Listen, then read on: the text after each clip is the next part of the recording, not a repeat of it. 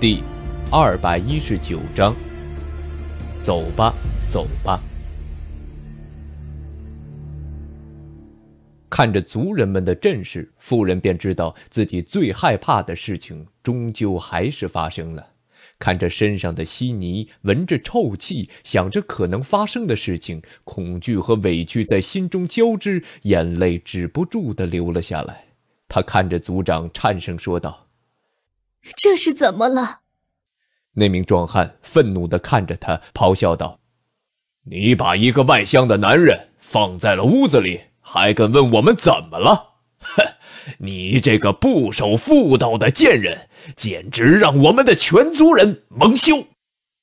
夫人沉默低头，惊慌不知道该如何言语。虽然她很想辩解自己和那个外乡男人之间什么事情都没有发生过，但她知道族人根本不可能相信。而且更重要的是，她很清楚自己确实不守妇道，确实想和那个外乡男人之间发生些什么事。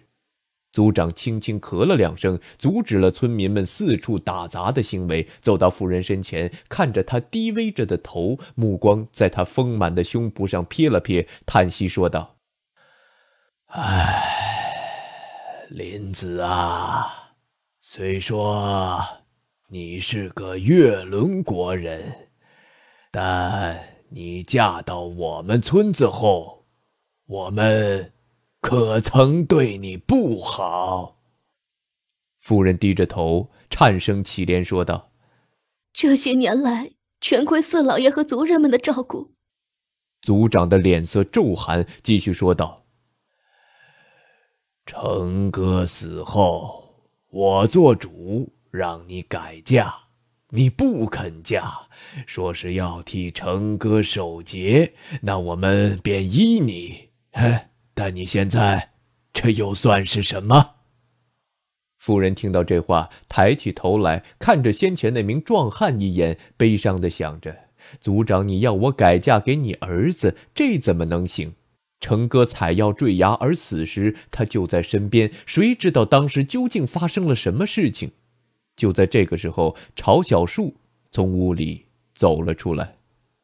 村民们看着那个外乡男人居然没有逃跑，还胆敢出现在自己面前，顿时更为愤怒，手里挥舞着锄头，便准备上前把他打死。族长老爷却很奇怪地拦住了众人。朝小树先前在屋中已经听了片刻，看着场间的局面，便知道将要发生什么事情。在长安城时，他便知道大和国民风守旧。传统，尤其是乡野村镇里的妇人地位极其低下，然而却没有想到会惹出这样一场风波。他走到那名族长面前，很诚恳地解释了几句。族长面无表情地摇了摇头，说道：“此事涉及我族中的声誉，岂能随意放过这等不知羞臊的妇人？”朝小树平静地说道。如果我与他真有私情，族长，莫非也要治我的罪？族长看着他，沉默片刻后说道：“我知道你是唐人，所以只要你道歉赔礼，再留下一笔银子做补偿，便可以离开。”朝小树看了一眼瑟瑟发抖的妇人，问道：“那你们准备如何处置他？”族人还没有发话，那名壮汉恶狠狠地说道：“进猪笼。”“进猪笼”这三个字对这些村民们来说，仿佛有异样的诱惑。顿时，呼喊声响彻小院，纷纷喊着要把妇人进猪笼，最好脱光了衣裳，先打一顿板子。朝小树。环视四周，看着那些男人们眼中贪婪猥亵的神色，看着他们因为兴奋而扭曲变形的嘴脸，轻声说道：“哼，这等人，似乎杀的。”大榕树下的小院骤然安静。族人们似乎觉得自己听到了些什么，却有些不相信自己听到了些什么。族长脸色骤然阴沉，看着朝小树，准备说些什么。然而不等他开口，朝小树转身望向妇人，温和问道：“这些人，你说杀不杀的？妇人身体微僵，片刻后才醒过神来。她本来已经绝望，然而此时看着朝小树温和的眼神，却觉得似乎希望正在重新回到身体里。他看着那些面目可憎的族人，身体骤然剧烈的颤抖起来，哭泣着说道：“我不是这个村子里的人，我是月轮国森林里的人，我是被人贩子卖到这里来的。我丈夫死了。”他们想让我嫁给族长的儿子，我不想嫁，我不想嫁。这些话他从来没有对外人说过，因为这个闭塞偏僻的村落里没有外人，没有人相信他的话，就算相信，也没有人敢同情他。所以，想知道外面的故事，想和外面的世界发生一段故事。此时，他终于把这些话喊了出来，因为他想活下去。杀得就好。朝小树看着院子里的人们问道：“哪些杀得？”妇人指着白发苍苍的族长和那名壮汉，颤声说道：“这对父子最该死。”朝小树向前走了两步，院子里面的族人举起了手中的锄头、铁叉，想要打他。篱笆被这些人踩得四处零落。朝小树。拾起一根竹片，然后他挥了两道，族长的头颅和壮汉的头颅就飞了起来。族人们怔怔地看着这一幕，脸色骤然变得苍白。不知道是谁发了一声喊，所有的人疯了般四处逃散，也没有人敢管倒在篱笆上的那两具尸体。杀人了！杀人了！杀人了！杀人了！快去报官！惊恐而绝望的呼喊声在村落里凄厉地响起，惊了池塘里的鱼儿，扰了榕树里的鸟儿，撕碎了此间已经延续千年的平静和规矩。族长父子的无头尸体还躺在简陋的小院里。妇人脸色苍白，身体微微颤抖，但眼睛里面的光泽却要比以往十几年里都要明亮。朝小树看着他问道：“对这个村庄和这个院子，还有留恋吗？”妇人摇了摇头，喃喃说道：“怎么会有？那，便随我走吧。”妇人吃惊地看着他的眼睛，眼中满是惊喜的神情，紧张地说道：“好。”他很紧张，所以他没有问他要去哪里，他要跟着他去哪里。只要能离开这个村子，他去哪里，他都愿意跟着他去哪里。然而就在这个时候，朝小树忽然沉默了起来，双眉微蹙，似乎有些犹豫，不知道有些话应不应该这个时候说出口。妇人的身体微僵，沉默片刻后，苦涩的说道：“是啊。”我是一个不知廉耻、不守妇道的女人，哪里还能带回家呢？你还是给我些银两，我自己去活着吧。最后，还是得要朝你要银子。不过，也顾不得被你耻笑了。朝小树看着他说道：“我只会给一种女人银子。”妇人的脸色苍白，凄楚的说道：“原来如此，可惜，我虽是个不守妇道的寡妇，想把身子给你，但是靠身子挣你的钱，却是不愿意的。”朝小叔静静的看着他的眼睛，温和说道：“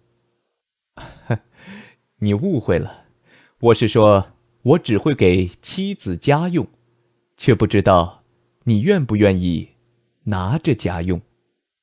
妇人怔了半天，才醒过神来。她揉了揉眼睛，想哭，但又觉得有些丢人。朝小树看着他，笑了笑，进屋收拾好行李，然后走出小院，看着依旧在发呆的妇人，说道：“走吧。”妇人接过他手中的行囊，二人就此离开。宁缺一直在思考三件事情。第一件事情是，为什么苦行僧道石能够在长安城里准确地找到自己？这件事情的背后有没有人在做手脚？第二件事情是，如果剑阁对书院的挑衅以及朝小树佩剑被夺一事后有神殿裁决司的影子，那么朝小树不在剑阁会在哪里呢？第三件事情是怎样回复西陵神殿带走桑桑的请求。后面两件事情都与西陵有关。想着程立雪对裁决司的态度，他觉得还是应该去南门观一趟，至少可以打听些事情。天域大神官现在的神座便停留在南门观中，要与这等身份的大人物进行谈判，首先当然必须统一己方的意见，如此才能并指为权。哎，这女孩子呢，总得有些人生理想。你看看道痴，他的理想就很简单，就是想在漫漫修行道上走到最后。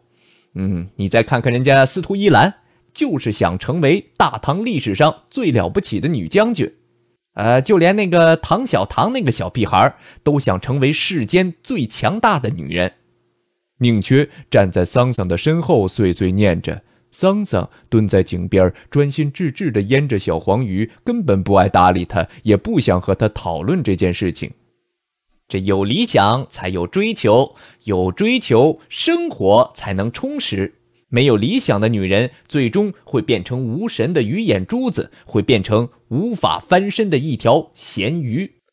宁缺看着桑桑瘦小的背影，叹息说道：“哎，我自然是舍不得你离开的，但既然你有能力，就这么天天耗在柴米油盐中，未免也太过可惜。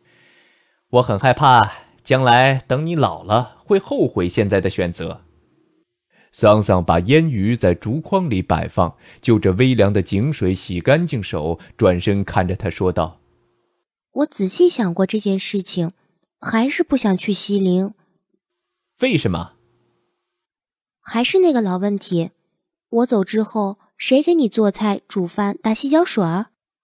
嗯，哎，这确实是个比较麻烦的问题。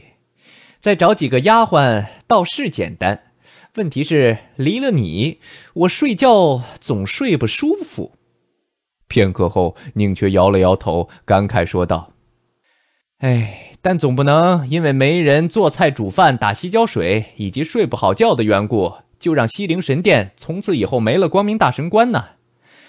这件事情是要写在史书上的，我一定会被后人挖坟曝尸的。”当天夜里。主仆二人就这件事情进行了一场极为深入的谈话，一直谈到深夜，才得出了初步的结论，疲倦的睡去。